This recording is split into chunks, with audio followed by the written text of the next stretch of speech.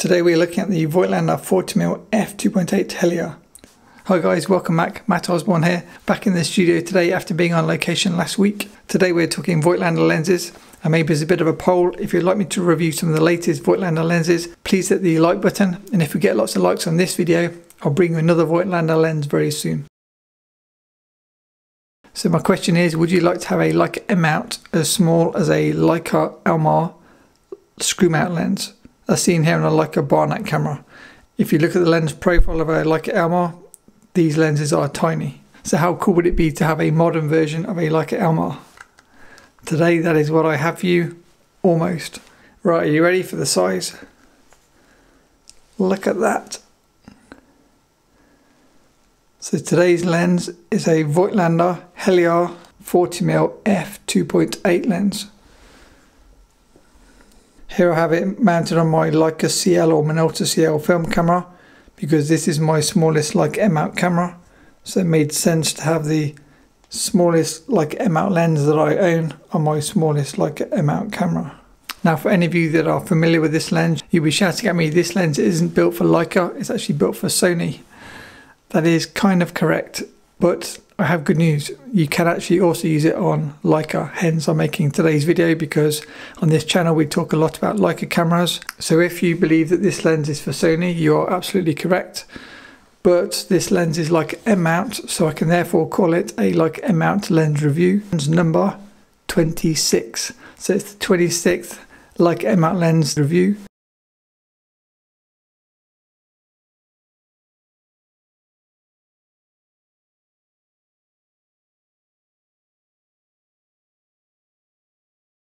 If you look on the top of the lens, you will see it says for VME close focus adapter. Now this lens is special and it is different to an Elmar. Let me just show you the difference. The Leica Elmar is collapsible, the same as the Heliar. Let's it to pull out. So that's full extension on the Heliar, full extension on the Elmar to give you an idea of how they look. But there is a difference. On a Leica Elmar 5cm f3.5 lens, it has a built-in helicoid, meaning you can focus your lens by turning it round at the back as seen here. This allows you to focus from say one meter through to infinity.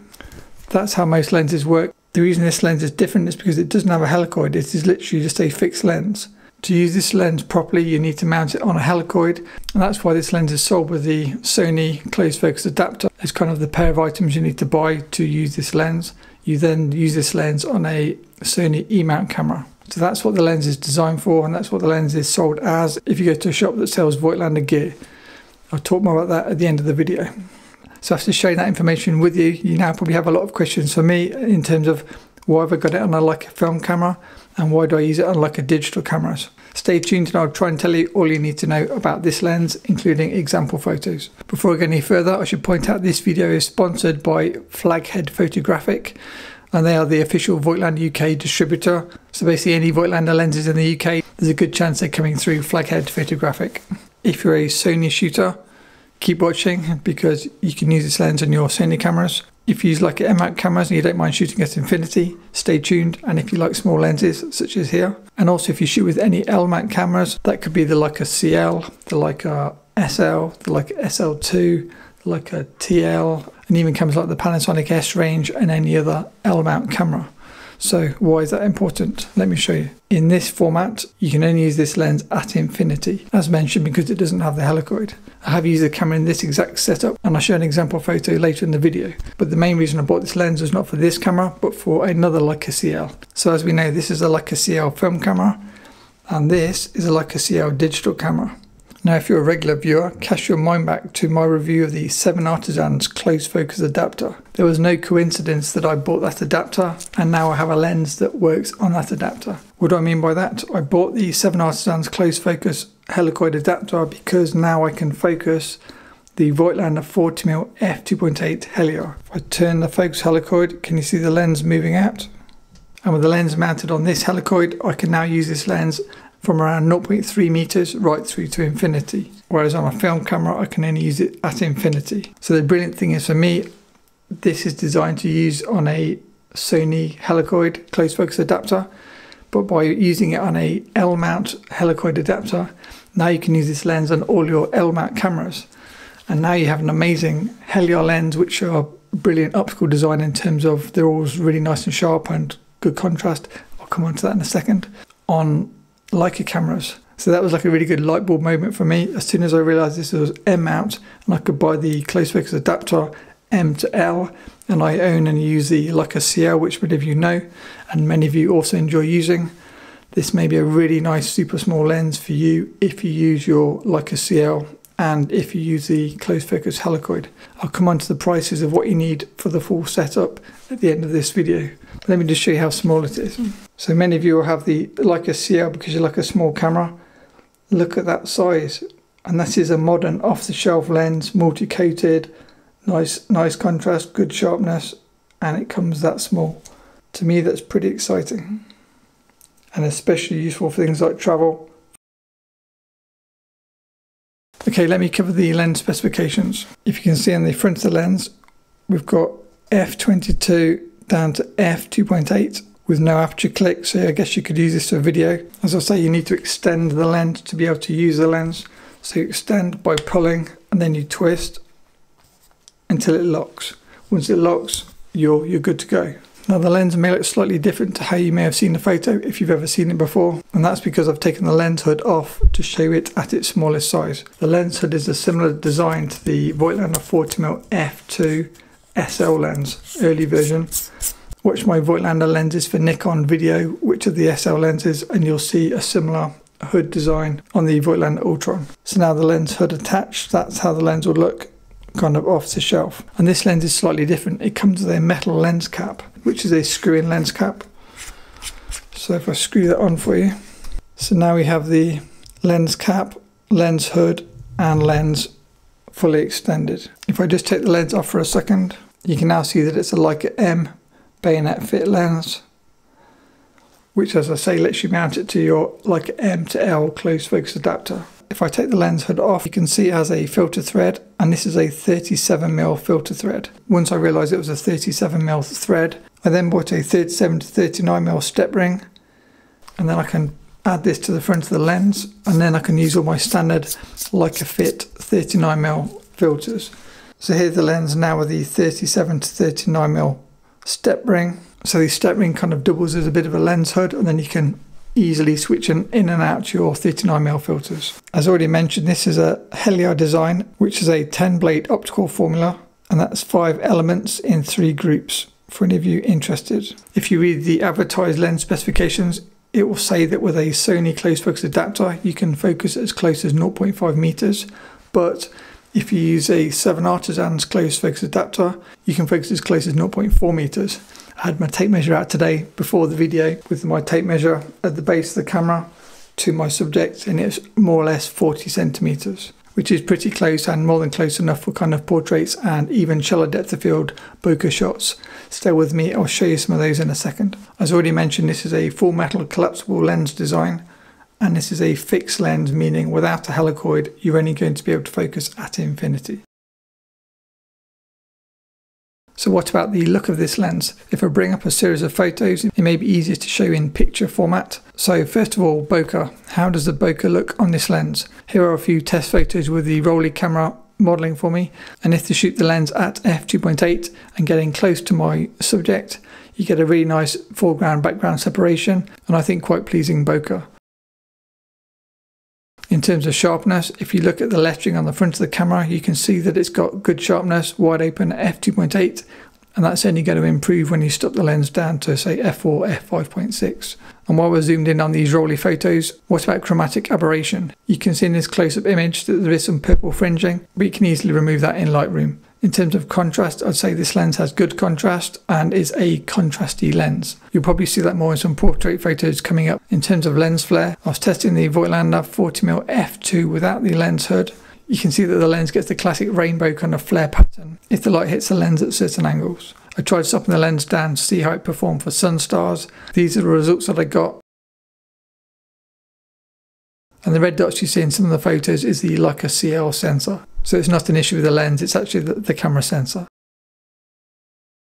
In terms of close-up photos, here's a close-up of some flowers in the garden to show you can get both foreground and background separation. In terms of vignetting, I thought I'd shoot the lens at various apertures, including quite a lot of sky so you could see the vignetting pattern. So when looking at the photos, maybe take note of both the vignetting, but also the sharpness and the depth of field increasing as we stop the lens down.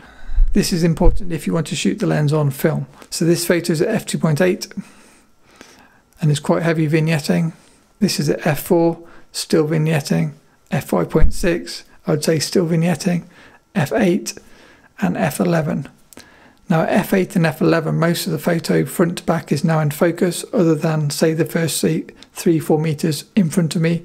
So I'd say anything from four, four to five meters to infinity at around f8 to f11 will be in focus. If we then take that knowledge, I then shot the lens on the Leica CL or Minolta CL film camera, and this is just a boring test photo uh, out on a bike ride.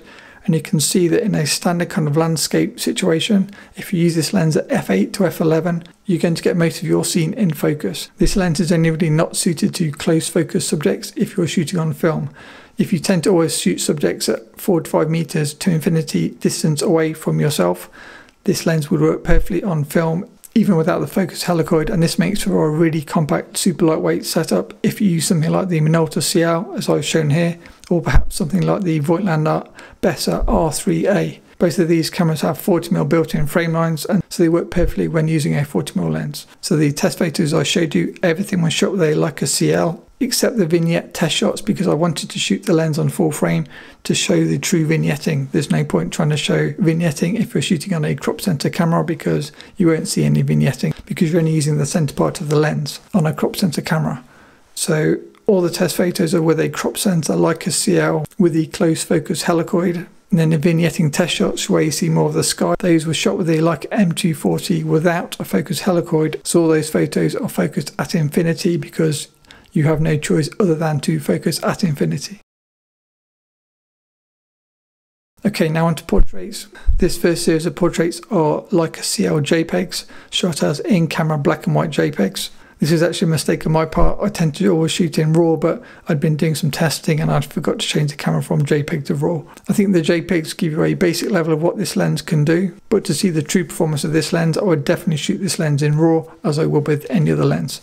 So now these portraits are shot in RAW and you can see these photos are much sharper and much better contrast, much better tonality as you'd expect if you shoot in RAW. All of these photos are shot with the Leica CL with the Voigtlander 40mm f2.8 lens and then with a Mr. Leica Leica CL black and white preset applied. And here is me doing a mirror selfie during a model shoot to remind myself that I was using this lens for these photos, so I need to share them with you guys. Just on that note, if you notice the trig on the top of the Leica CL in that photo, I get quite a few questions about Leica photography with flash, so feel free to subscribe and I will make a video on using flash with Leica cameras. That can be the Leica CL, Leica M digital cameras and Leica M film cameras.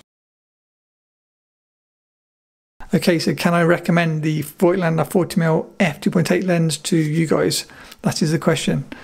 The honest answer is it, it depends on one, how you shoot, two, what you shoot, and three, what you shoot on. So let me just cover these points in reverse order.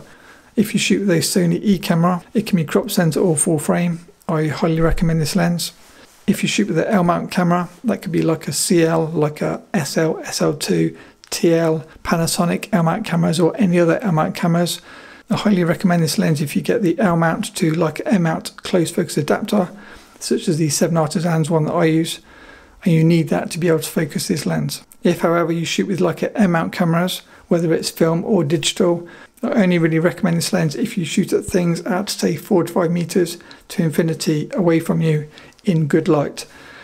The reason I say that is if you shoot at infinity at f2.8 as long as you are shooting at infinity then you can use f2.8 but in most situations if you want something from say 5 meters to infinity in focus you're going to need to use around f8 to f11 to use f8 to f11 you either need enough light or use a camera with a high enough ISO to allow you to shoot with that depth. This lens is not suitable for portraits it's not suitable for close-up photography it's probably not really suitable for street photography for most of you maybe some of you shoot at a distance, but I think when I think street photography, I think kind of in your face, maybe one meter, two meters distance maximum for those kind of immersive street photos. So I don't really think it's suitable for street photography.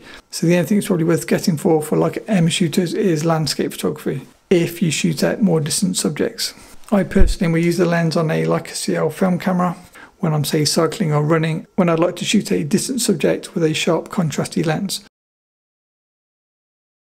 So in terms of cost, if you're going to use this lens to its full potential, you need the close focus helicoid. The Seven Artisans close focus helicoid that I have is either £69 or $69. I can put a link to that in the description. You can get those on Amazon.